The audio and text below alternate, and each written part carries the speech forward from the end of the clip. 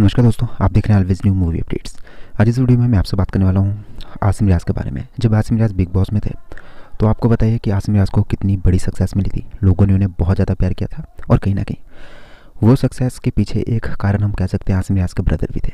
जब भी घर के बाहर कोई भी नेगेटिविटी फैलती थी तो सबसे पहले आसिम रियाज के ब्रदर जो है, उमर रियाज, वो उस पर हमला करते थे।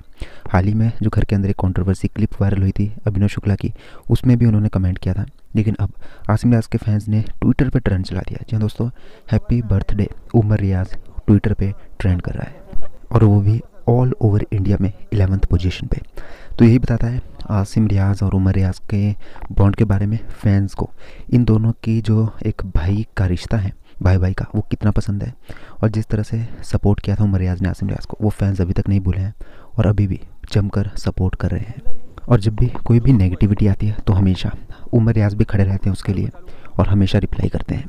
वेल आपको क्या कहना है इन दोनों के बॉन्ड के बारे में? और हाल ही में आसिम के प्रोजेक्ट्स के लिए आप कितने एक्साइटेड हैं? साथ ही साथ, इस ऑल ओवर इंडिया में जो ट्रेंड बनाया है आसिम रियाज के फैंस ने, वो भी उमर रियाज के लिए, उसके बारे में आपको क्या कहना सब्सक्राइब करें लेटेस्ट अपडेट जानने के लिए। मिलते हैं नेक्स्ट वीडियो में, तब तक के लिए धन्यवाद।